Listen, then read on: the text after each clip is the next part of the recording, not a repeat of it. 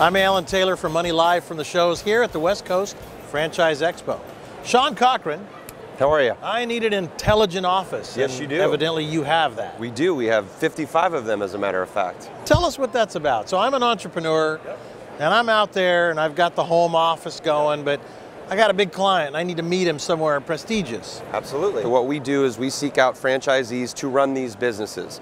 Now, when a franchisee has one of these businesses, they help the small business community, lawyers, financial planners, accountants, CPAs, software designers, the small business community at large project a larger and more professional image for a fraction of what they would typically pay. You can work at home in your robe and slippers, yet have a prestigious business address, somebody to professionally answer your phones, and if you need an important office space or conference room to conduct that critical meeting, you can get it by the hour, by the morning, by the day.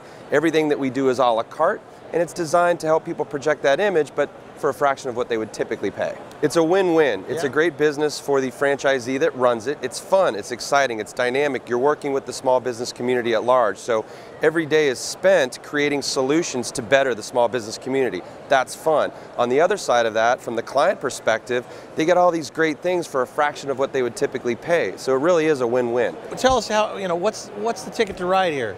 That's actually a really uh, interesting point. So the, the life cycle we see with a lot of our franchisees is they get this business up and running and to a point where it's mature, uh, it's running, the staff's in place, things are going great. Now what? What does the franchisee take on next? Well, oftentimes they open up a second, third, or multiple locations, or they launch their own business. And from what better infrastructure to launch your own business than from within your own intelligent office?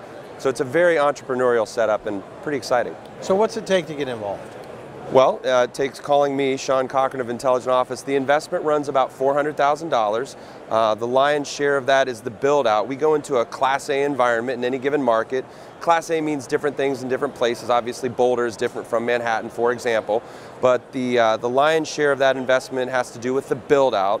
You know, from the carpet to the fixtures to the furniture to the equipment. really equipment. go in and put your Absolutely. flavor on it. These are beautiful offices, and just like any great franchise, there's dedication to the brand so that the experience and aesthetics that you feel in Boulder is the same in Manhattan. So we're not piggybacking with an existing something or other. No, definitely You're really not. creating. We go in and create an intelligent office, and part of the selling points to intelligent office specifically is the layout, the aesthetics, the open air, the wood trim we use, the artwork, everything's detailed down to the nth degree. How many franchisees do you have now, and where are your locations? We have about 55 locations throughout the United States and Canada. We easily want to get this to the next level of being a network of about 100 locations.